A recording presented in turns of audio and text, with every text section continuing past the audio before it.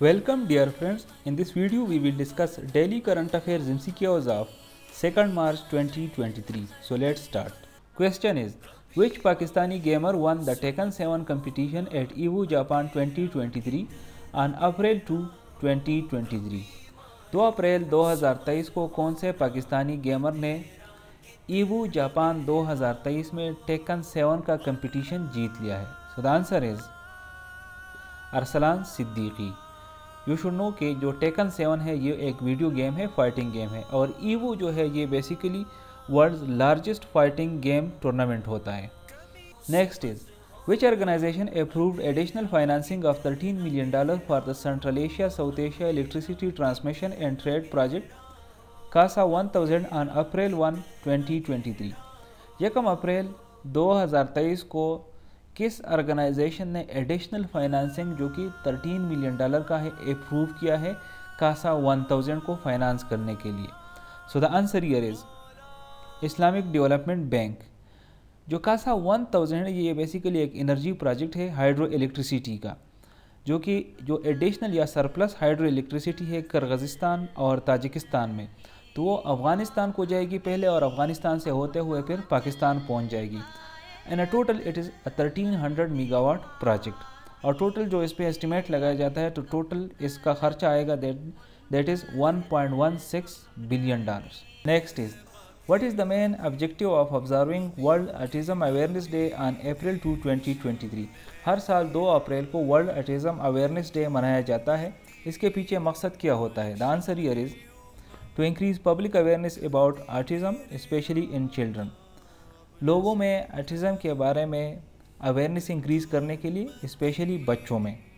ये autism basically होता क्या चीज़ है, ये एक न्यूरो डेवलपमेंटल कंडीशन होता है, जिसमें मसला ये होता है कि आपके जो इंटरेक्शन सोशल इंटरेक्शन होता है या कम्युनिकेशन स्किल्स जो होते हैं, वो थोड़े से कमज़ोर होते या वीक होते और यूचुअली बचपन में ही इसको एक बंदे में रिकगनाइज़ किया जाता है कि इसमें ऑटिज़म का मसला है।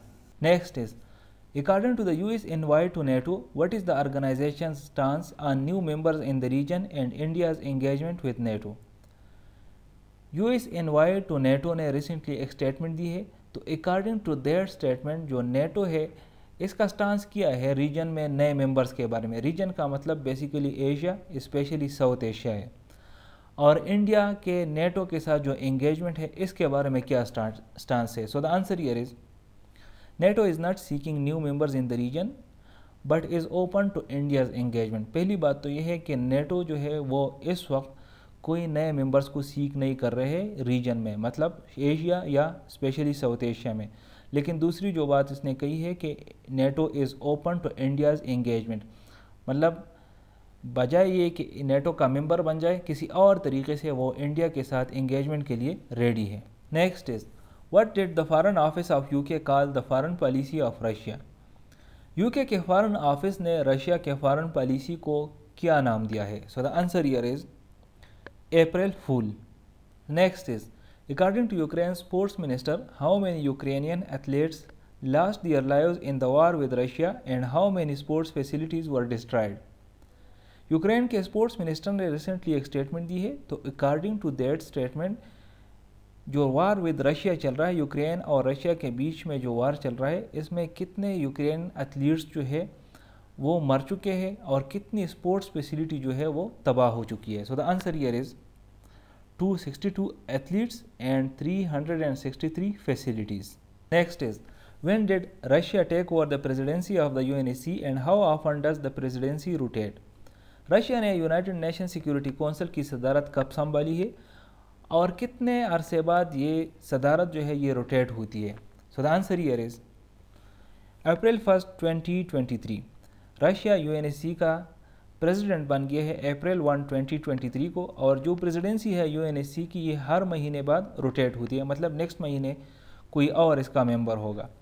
बेसिकली आपको पता होना चाहिए जो यूनाइटेड नेशन सिक्योरिटी काउंसिल है, इसके 15 मेंबर्स होते हैं एट वन टाइम उसमें जो पाँच मेंबर्स होते हैं वो परमानेंट होते हैं बाकी दस मेंबर्स जो है वो इलेक्ट होते हैं तो एट वन टाइम ये फिफ्टीन मेंबर्स होते हैं और हर महीने बाद इनमें से एक मेंबर जो है वो यू का प्रेसिडेंट होता है और फिर अगले महीने कोई और जो है प्रेसिडेंट होता है इस तरह ये फिफ्टीन मेंबर्स के इर्द गिर्द ये रोटेट होता रहता है is the end of this video. I will see you in the next video. Till that time, stay blessed.